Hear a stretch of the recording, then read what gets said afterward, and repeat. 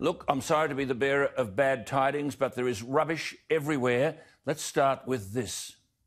You guys are doing this. Um, yeah, you can show me your search warrant before you go through my house. You're, you're the occupier or tenant? Yeah, I own this house. There it is. There's, no, there's a search warrant. Search warrant for what? Now, what I will explain to you is, is if you want to listen, you got your phone going.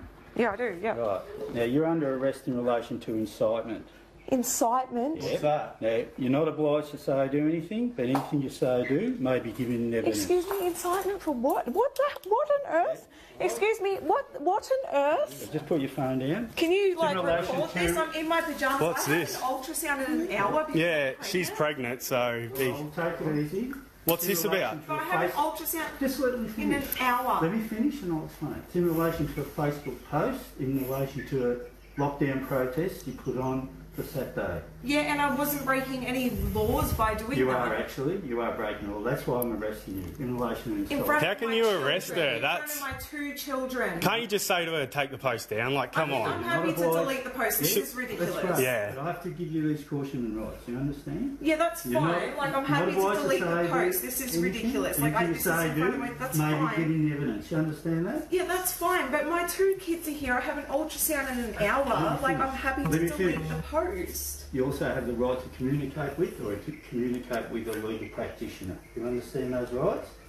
Yeah, this is ridiculous. Yeah, this is a bit unfair. Come on, mate. No, we. What about she just doesn't do the event? Like, it's not like she's done it. Well, She you've made a Already post. committed the offence, so I'm not going to. So that's an offence. Now, the search warrant entitles us, and we're required to seize any computers, any mobile devices you have. Earth? Seize any computers and or That's fine, tablets. can I Just just let me finish. Let me finish. Any mobile telephone you've got, okay? So what we want is any mobile telephone you've got. You're gonna need that. No, it's actually my sister's phone. It's not your phone. Yeah, my it's her name. sister. so- Doesn't matter. Any device in this house we're taking. This is Well, ridiculous. You're not taking my phone. Well, I'm taking any device, mate. any That's my device. phone. It's, um, it's nothing to do with her. It's my phone. Well, thankfully, I'm not the only Australian who thinks this is appalling, disgusting, and disgraceful. A pregnant woman forced into tears, handcuffed in her pyjamas in front of her children.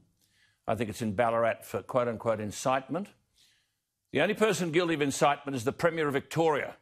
In his outlandish grab for power, his disdain of any accountability is forcing people to behaviour simply designed to take back their freedom. This woman is a victim of the inexcusable and unlimited powers given to the Victorian police. Everyone knew it had come to this. You can only push people so far. Wherein lies the violence in what you've just seen? The verbal and intimidatory behaviour towards a pregnant mother is a form of violence the like of which no Australian will tolerate. Go, Daniel Andrews, and go tonight, for God's sake, before more damage is done.